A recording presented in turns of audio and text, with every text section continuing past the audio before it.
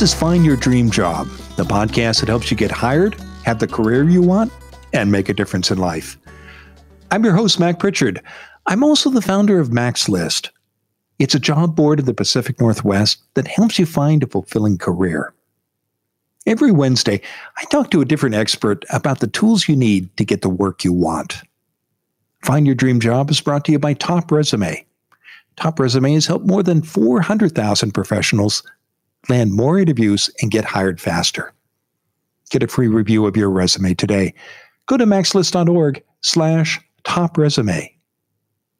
When you're out of work, you might think about going to graduate school. Our guest today says you don't want to put your career on hold if you do enroll in a graduate program. Instead, you need to think about your job search throughout your graduate education. Liz Herrera is here to talk about nine ways to jumpstart your career while in graduate school. Liz is a professional career coach. She's also a director of career development and major exploration at the University of Illinois at Chicago. Liz joins us from Chicago, Illinois. Well, let's get started. Liz, uh, you've got nine tips for graduate school students um, and how they can make a difference in their career. But before we go through your list, why do you recommend students think about job hunting at all throughout graduate school? Yes, absolutely. I think that a lot of times students wait until the last minute, uh, ready when they're ready to graduate to start the job hunt. And as you know, the job search process does take some time, and there's a lot of organization, and you need to be very thoughtful about that process. So, starting early is extremely important to really get ahead and be competitive once you are ready to enter the job market. But Liz, shouldn't students focus on studies, not careers before graduation? That's a great question.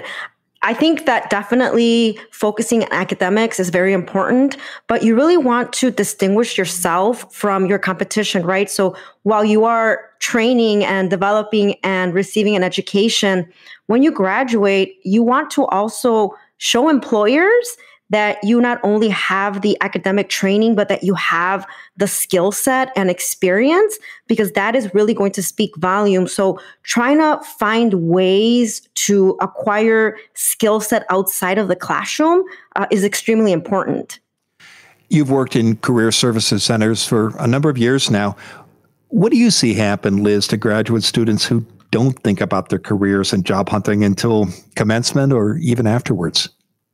Yes, in my experience, uh, frustration, uh, or you know, I I used to work with with a lot of graduate students, and the ones that waited until the last minute, you know, some of them didn't even have a resume, and they're pretty much starting from scratch. So, you know, trying to figure out where they want to go, what type of jobs they want to focus on, creating their professional package. Now, I will say that I always told my students, it's okay, we'll work on this. But the students that focused that energy at the beginning had a much easier time executing that job search because they were able to use their grad school time to focus on that and they felt more prepared when putting themselves out there uh, for the job search.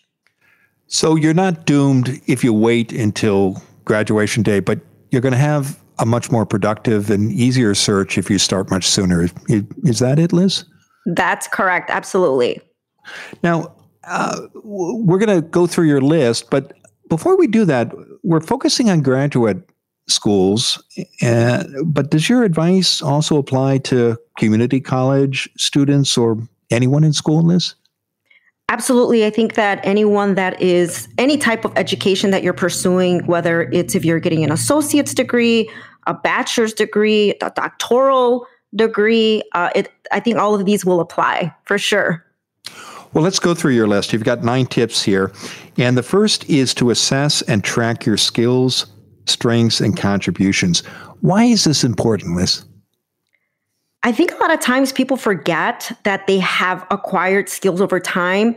And while they are in graduate school, you know, specifically that's what we're talking about, you're going to be learning different techniques and tools in the different classes. And it's important to really capture what those things are, even though it's academic training, you're building a skill set that will later later on come in handy.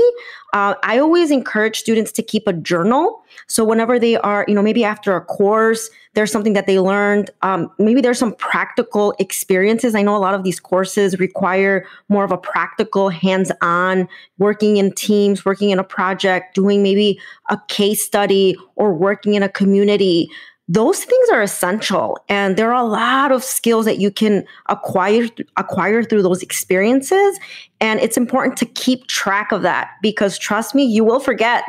Uh, so it's it's a it's a good habit to form to to keep track of of the new skills. That surprises me. Do you find that s- students who don't do this kind of self-assessment just don't have as good a grasp uh, of their strengths as as those who do in my experience, yes, I would say that I've worked with individuals who, you know, we're having a conversation and as we're preparing for, let's say, a job interview or updating their resume, we have to really dig deep and think about, okay, what did you learn when you were in this class? Or even speaking the language, uh, the terminology of their industry. And I had students that did have to do a journal, let's say for a class, and those students were better equipped to articulate and communicate some of those skills because they had already uh, written it down somewhere. Uh, they've archived it, they've captured it in some way, and and it just triggered their memory. Like, oh, that's right. I I took that class. I did that. I had I do have that skill. And I think a lot of times students undermine or undervalue uh, a certain skill or a, uh, you know a new ability because they don't think of it. It's kind of like, oh, it's in the back of my mind. I took that class and I'm ready for the next class and and don't really identify as, you know, these are they're being equipped with something that they're going to be essentially implementing in their field. What should a student do with this information?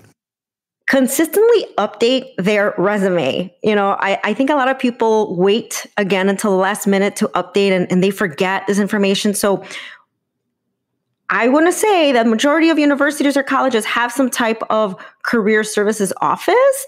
And I would say, you know, visit that office early on. We love when students take advantage of the services that are available to them. And so even after the first semester, meeting with, with an advisor, I know I would always tell my students, come see me, you know, right away. And those students that worked with me early on, we were able to talk about their classroom experiences, maybe their volunteer experience, anything that they were getting involved with, and really trying to capture what they've experienced and putting that putting it on paper. So I always recommend people creating a master resume and I always tell my students this is for your eyes only, right? So it could be multiple pages in length. Uh, this is something just for you to track and document the different types of skills or you know courses experiences that you are you know acquiring throughout your program because you most likely will need to refer back to that as you start packaging yourself for different opportunities. Number 2 on your list of nine career tips for graduate students is to optimize linkedin. How do you recommend liz that a graduate student optimize a linkedin account Yes, LinkedIn is very multifaceted and I know a lot of students will, you know, will say, "Well, I'm not on the job hunt yet. I just started school. Why should I even be on LinkedIn?" I think definitely establishing an online presence uh, making sure that you know you have a personal brand that you have a digital footprint. So this is essentially your marketing tool. And a lot of times students feel that they don't have a lot of experience to include just yet but i don't believe that. After a conversation i find that students do have experiences even if they're not directly related employers do like to see that you've had some type of professional exposure, some type of experience. So adding projects, volunteer work, student involvement, your work history, having a summary of maybe what are your career aspirations, that's going to be extremely important. Uh, and also, really getting a vantage point of where you want to go, uh, joining professional groups, getting involved and just maybe being an observer at the beginning, kind of seeing what's out there, what kind of specific areas or specializations you may want to consider. Follow companies. There is no harm in following a company, even if you are not on the job hunt. Again, just to see who's out there, what's out there, and gaining that visibility. And then, of course, you can follow influencers, industry leaders, and it's good to stay abreast of current trends. Uh, again, in areas that you are thinking about pursuing. So, LinkedIn is definitely very versatile. Uh, one area, of course, is the the self promotion, the personal brand, but also it's a, a great tool or platform to explore, see what's out there, look at opportunities, and really it's it's a it's a wonderful professional landscape. I'm glad you brought up the value of LinkedIn as a research tool because I think many students think it of LinkedIn as something that they'll get to a few months before graduation. Um, but it's not just a calling card and, and an, an advertisement for yourself. It's also a way of, of learning along the way. Uh, number three on your list, Liz, is to conduct informational interviews. Why do you recommend graduate students do informational interviews? For so many reasons, it, it's very beneficial. So, one, you know, trying to figure out, okay, are you going to be a good fit for an organization? Organizational culture is going to be extremely important. So, why not talk to individuals that are already working in organizations that you are considering? So being prepared with some intentional questions to, to learn a little bit about an organization. Um, another reason too is connecting with professionals and learning about their career trajectory. You know, they can provide advice on how to tap into that particular field. You know, even maybe if you're studying the same thing, there might be certain specialties that may have a different you know entry point or they may get advice on you know what they should be doing while in grad school that was one of the popular questions when we would invite alumni to talk about their career path they would always say oh i wish that i knew you know this information while i was in grad school. So really tapping into alumni for informational interviews is key because you can get so much information about you know that person's career trajectory but also insight into that specific field or industry. Your fourth tip on your list of nine for graduate students is to serve as a volunteer. How can volunteering during your graduate education help you with your career gaining skills, gaining exposure, but also identifying your interests. Even though you're in grad school, you're still exploring. And if you are looking to work in corporate or the community, in government, regardless of where, what you what type of area or industry it's good to volunteer to really get a sense of you know what what do you want to focus on? What do you like? What you don't like? But also gaining skills that you can add to your resume. And when you're interviewing for a position and you're able to talk to an employer that you were in school but you were also volunteering for a particular cause or something that that aligns to your career goals that can speak volume. So i think volunteering can really be beneficial in so many ways from building your professional package but also to learn about yourself uh, and see you know what you like what you don't like and building connections networking. Terrific. We're going to take a break liz and when we come back um, i want to talk about the fifth uh, your fifth tip, which is one of my favorite uh, strategies, using university job search databases. So stay with us. When we return, Liz Herrera will continue to share her advice about nine ways you can follow to jumpstart your career while in graduate school.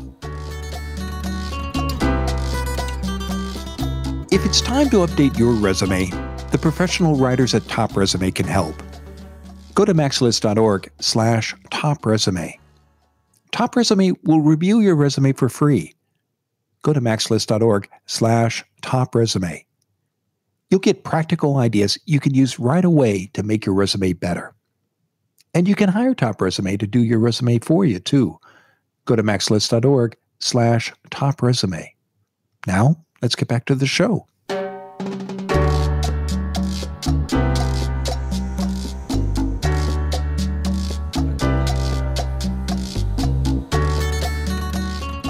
Back in the Mac's List studio. I'm talking with Liz Herrera. She's a professional career coach. Liz is also a director of career development and major exploration at the University of Illinois at Chicago. Now, Liz, you were taking us uh, in the first segment through a list of nine ways you recommend graduate students follow to jumpstart a career while they're still in graduate school. And number five on your list, as I mentioned before the break, it's one of my favorites. Uh, it's to use the university job search database. Uh, tell us more about this. Absolutely. I think a lot of times students, especially grad students, they don't take advantage of a lot of the resources available to them. And one great resource for many of the universities that they offer are the job search databases. So these are typically exclusively available to uh, the university students or college student and employers are recruiting and they specifically focus on the career centers because they want recent grads. And I think a lot of times students don't believe that, but it is true. Employers, they want to recruit you know recent grads they want to recruit from campuses so they rely on these job search engines that are specifically for university students so i'll give you an example at uic we use handshake and we just acquired this tool and it's fabulous. I love it because students not only get to connect with employers, they also get to connect with other students. And employers are doing also a lot of panels and virtual job fairs. So there are a lot of benefits to using the university job search database. And I feel that a lot of students don't tap into that resource so definitely take advantage of that or ask your you know your career center to see what that looks like and i'm also going to plug in that a lot of times these tools are also available to alumni so something to consider and to also uh, find out i'm glad you made that point about employers often advertising just on a particular university's job search our job board because I run a we run a job board at, at Mac's List, and that certainly has been our experience. That you'll see jobs in university uh, job search databases that you might not see on on many other sites or perhaps only on that site. So while you can't rely on job boards alone, it is uh, it's a valuable resource. Number six on your list is to you say uh, you recommend rather that people build experience with an internship. Why are internships so important, especially for graduate students? Yes, it's it's definitely an opportunity to work in a more uh, it's a more commitment focused rather than you know vol- volunteer work is great and and I encourage it, but if there's an opportunity to to an act to actually do an internship that allows someone to actually work longer with an employer, really build again that skill set, gain experience, get get hands-on experience to what it would be like to maybe work in that organization.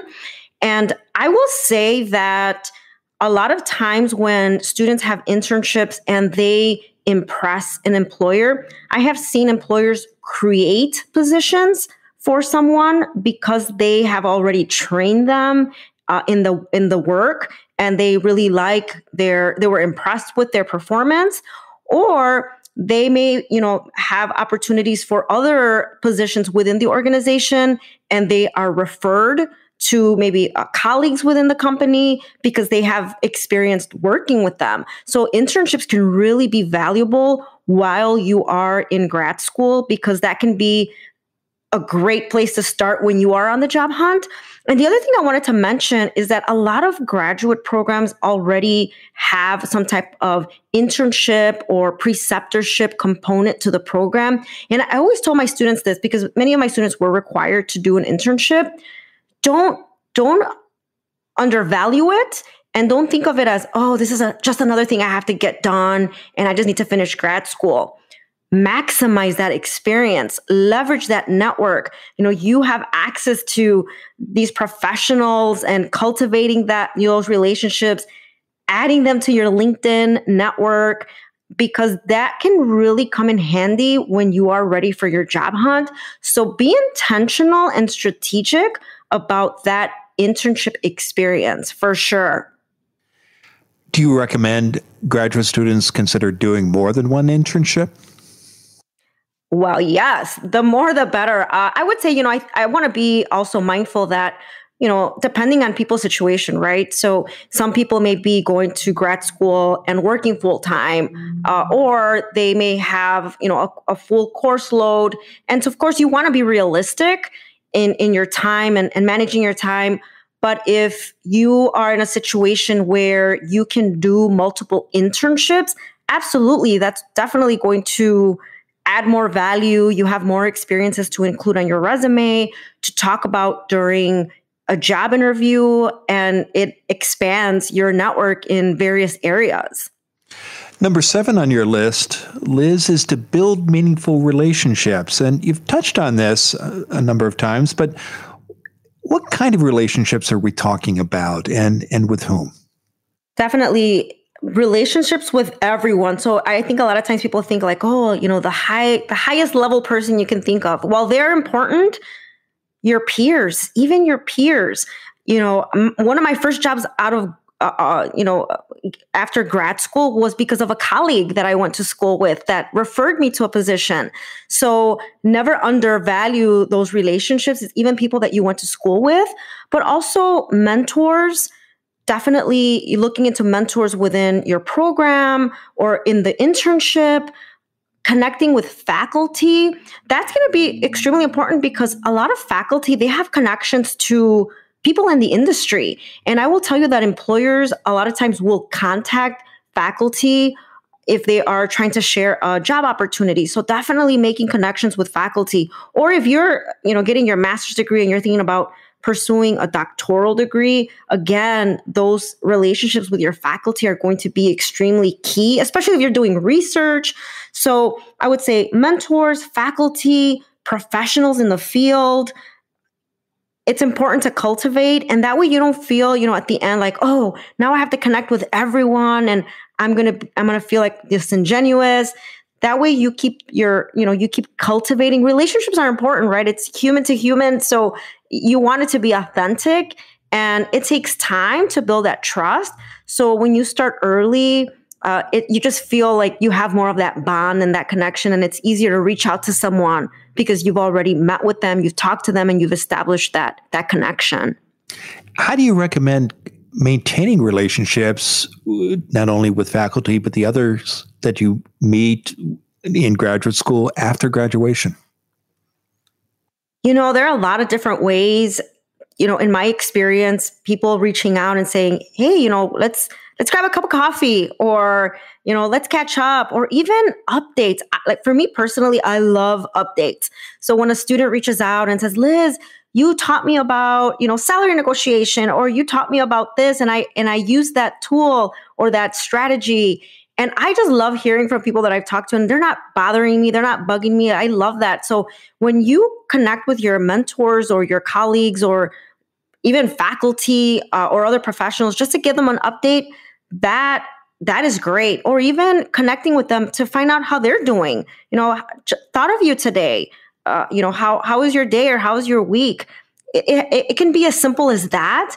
And then you stay on that person's radar. You're visible. And it's just a it's and again you want to be authentic and genuine but I, I think there's a way to still stay connected. And even if it's you know six months that's okay too. You know we're busy. Things happen but don't be afraid to reach out to to your connections even just to check in um, say hello i think that can be that can be a good thing Number eight on your list of nine tips for graduate students who are thinking about their career is to join professional organizations. And you touched on this uh, in the first segment. Why are you a big fan of graduate students getting involved in professional groups? Absolutely. So, the nice thing is professional associations typically cost money right? And you know when you're in your prof- in your field you are paying all this money to be a member. Now when you are a student a lot of times either they're free or you get a discount and you get to connect with so many professionals already practicing in the field.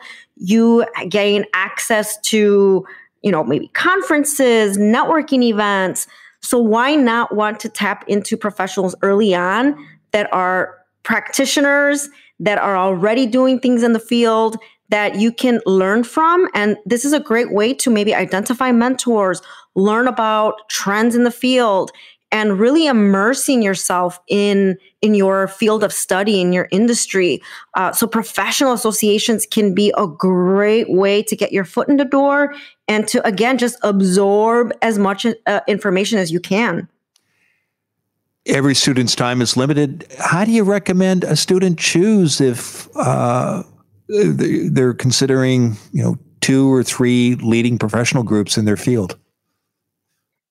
No, that's a that's a great point. I would say, you know, there's a season for everything and I know I have definitely worked with students who want to do it all. And while that's admirable, I think, you know, it's okay to take it one day at a time.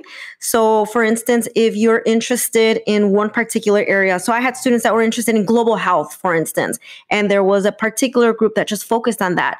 Maybe you join a, a group in that area, get, you know, get uh, information, get connected. And maybe the following year you join something different. So you will find your niche. You will find where you feel like you fit, but it's exploratory. And if, if it's just joining one, honestly, I think that is enough to begin with and uh, it's just it's a good habit to practice as a professional and i recommend that to be a lifelong experience no matter how many years of experience you have, even when you're in your profession, to at least be a part of one professional organization uh, as it, it, helps you stay again on trend and learning new best practices. So I wouldn't get super overwhelmed about making the right choice. Uh, choose what speaks to you at that at that given moment and that aligns to your to your interest um, at, at, that time. You can always change and and you know explore others, but one one at a time is is fine for sure. The last item on your list of nine is to customize your professional branding toolkit. Now, what what do you mean by a professional branding toolkit, Liz? And and how is that going to help you find a job after graduate school? Right. So everything needs to be tailored, everything. So when I say professional branding toolkit, I'm referring to the cover letter, the resume, CV, even when you're going into an interview. Whenever you're connecting with an employer, they want to know why you want to work for them, why you want to work for that particular organization, why you are in this particular field or industry. So you really have to be able to articulate that and it has to be specific. So you know, you don't want to be all over the place and while you have so many interests and you want to go into so many different areas, when you are focused on a job application or a specific position, you really want to carefully think about the relevant experiences that speak to that particular position. So, really thinking about how you are presenting your brand to employers and, and also LinkedIn, right? So, if you have specific research interests or specific areas that you want to work on, little by little adding that to your profile because you will start to attract employers and companies into your into your LinkedIn profile and they're going to see the things that you're involved in and that you have been thinking about this career path for a while, you know, through the professional organizations, through your student involvement, through your community work, through your volunteerism, through your internships. So you're starting to tell a story. And so everything should always be, you know, very specific and intentional to your targeted audience. I've so enjoyed our conversation. Now, tell us, Liz, what's next for you? Yes. So I have just recently launched uh, a career podcast. So it's Liz Career Coaching Podcast. And I talk about all different types of topics that students usually reach out to me for or clients. So uh, again, just started that and uh, very excited to have people uh, take a listen. Well, congratulations on the launch of your show. I know people can learn more about your podcast and your coaching services by visiting your website. That's lizcareercoaching.net. Now, Liz, given all the great advice you've shared today, what's the one thing you want a listener to remember about your nine ways to jumpstart your career while in graduate school? Don't be afraid to connect with people, build meaningful connections, establish your network, keep the momentum going and just, you know, the best of luck in graduate school.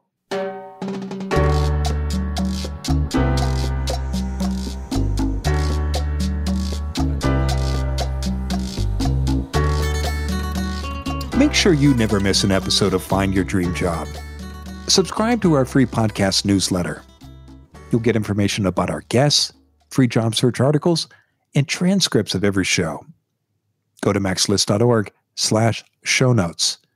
Again, that's macslist.org slash show notes. Next week, our guest will be Andy Foote. He's a writer and coach who teaches LinkedIn strategies. Andy also hosts the podcast Footnotes. It's an interview show with interesting people on LinkedIn. One of the most effective ways to get an employer's attention is to post content on LinkedIn. But to do this well, says Andy, you need to study what works, learn from those who do it best, and give yourself time. Andy and I will talk about how you can create LinkedIn content that will help you land your next job. I hope you'll join us. Until next time, thanks for letting us help you find your dream job.